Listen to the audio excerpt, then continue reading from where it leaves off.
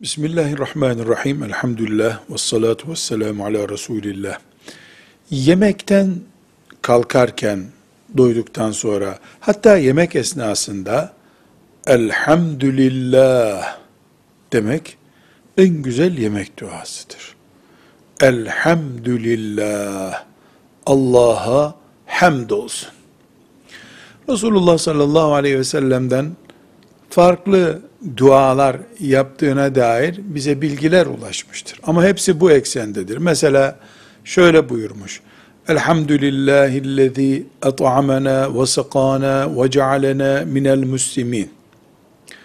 Bizi yediren, içiren ve Müslümanlardan yapan Allah'a hamdolsun.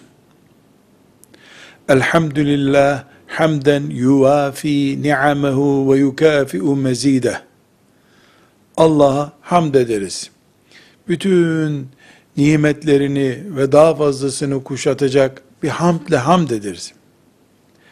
Bu ve benzeri dualar yapılabilir ama yemek yedikten sonra elhamdülillah diyen hamd etmiştir. Yemek için gerekli duayı yapmıştır. Yemeklerde uzun, görkemli duaların bir manası yoktur.